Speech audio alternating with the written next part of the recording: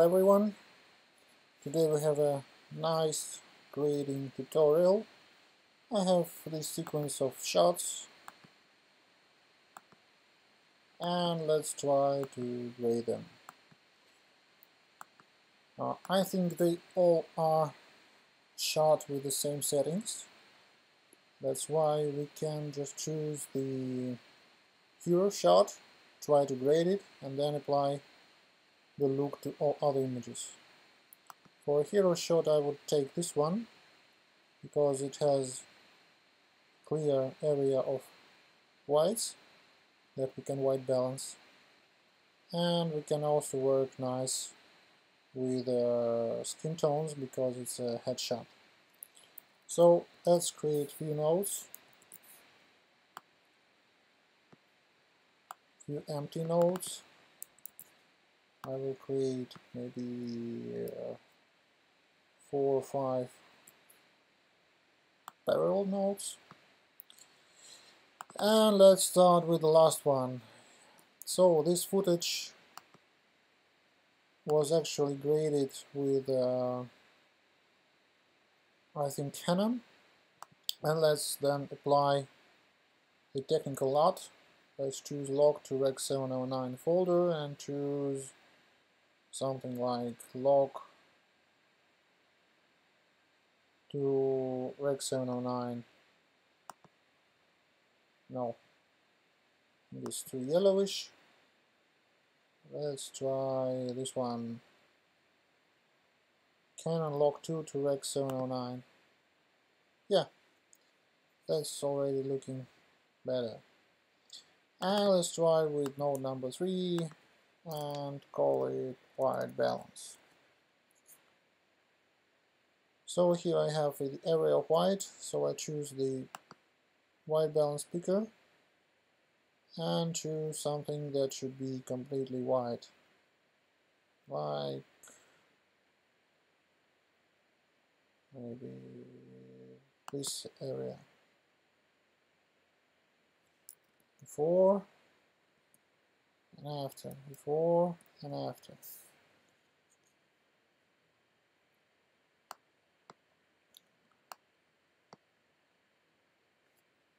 Okay, so maybe I'll try another LUT. I don't like it that much. Let's try just a normal log to Rec 709. Yeah, this is looking more less contrasty and more exposed. Um, so once again before and after with our white balance then go to the next node and here I think we will play a little with uh, a hue because you see if we choose the skin tones hit command shift H to apply our highlights and then go to vectorscope. We see that it's shifted towards yellow so let's try to append a little bit of hue. And let's have a look how it will look like applying to the whole image. Let's apply a little bit of hue. It's more yellowish right now and then we go to more red hue. Something like that would be just just fine. Before and after before and after. Okay this is our view.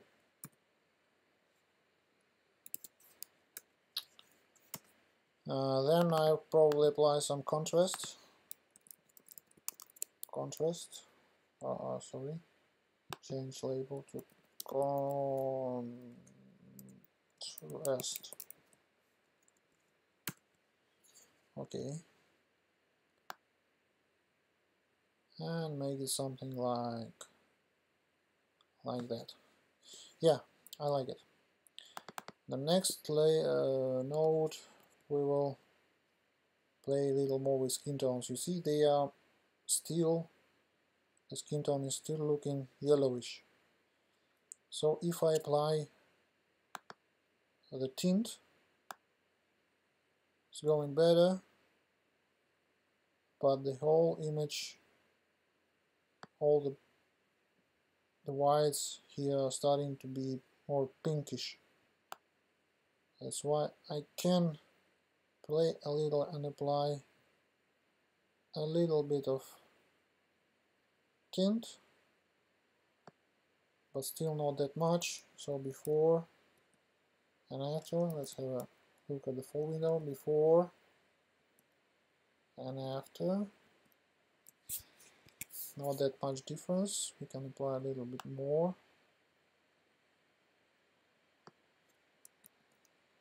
Before and after. And in the same I think in the same node we'll go to our hue versus hue and here I want to change this yellow to more red not affecting the whole image.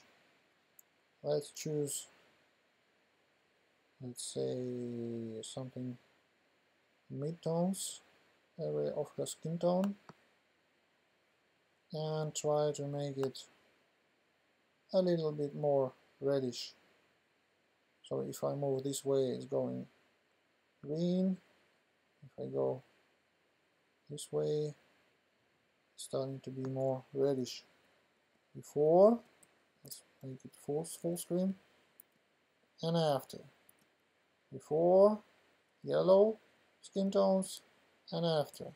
More pinky pinky reddish. So this is before the whole if I disable all the nodes and this is after. So this is our skin skin tones. And here we can play a little bit with uh, saturation.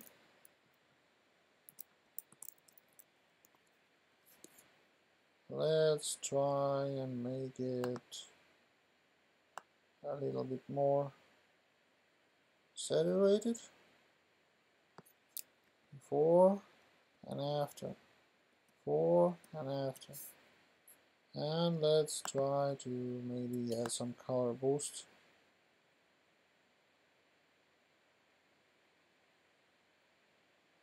To make her face pop from the background so this is the before and this is after. Before and after? Maybe too much too much of saturation.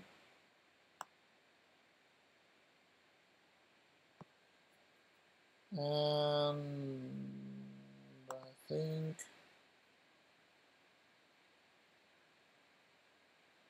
I think that is now looking very very nice let's have a look uh, at our exposure.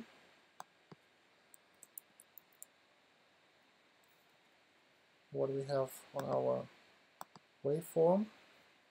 So it's quite okay. We see that this watch is almost dark. We can actually bring a little bit more of our shadows down. And maybe some highlights more. But anyway we need to check if her exposure on her skin is correct. And we can do this by just applying the false color plugin and we see that is uh, her skin tones are laying somewhere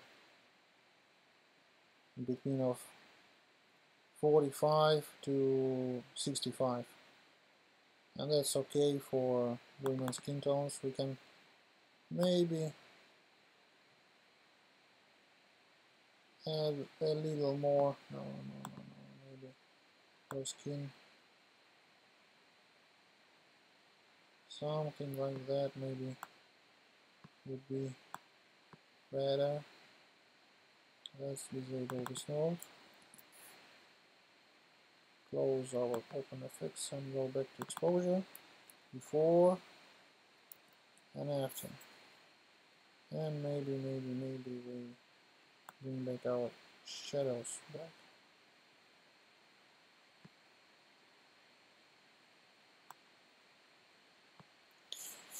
so uh, and the last technical notes that we need to do I delete this false color. We don't need it, need it anymore. We just want to be sure that our blacks are black and our whites are white. Uh, we go to uh, the curves luminance versus saturation and make our blacks black our whites. Also we make we make them desaturated. So before and after we don't see subtle difference but they are. And maybe maybe maybe I'm just thinking. Let's try just try to add a little bit more of red to skin tones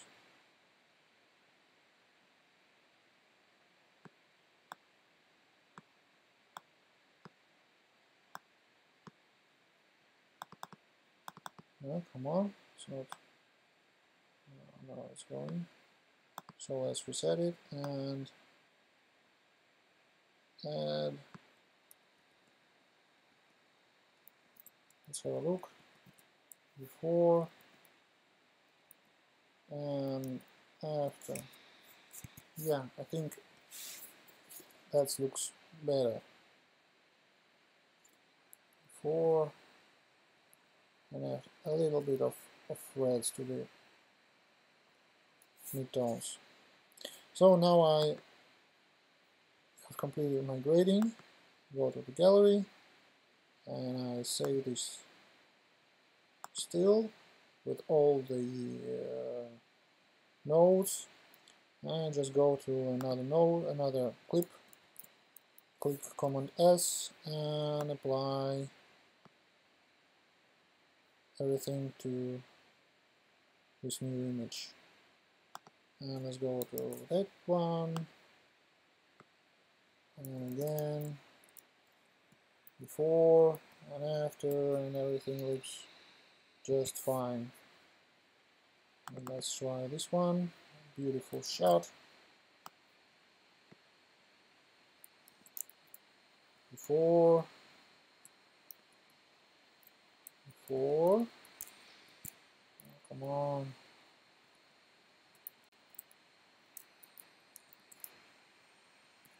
One after. Before, one after. Think here we can uh, no, it's looking great. Before. And after maybe a little bit overexposed. But but I like it.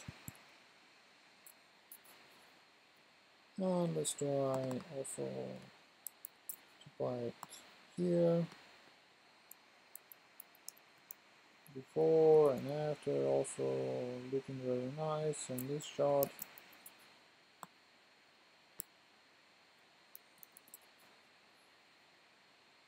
this chart is also very before and after. So skin tones look look nice. Very tones.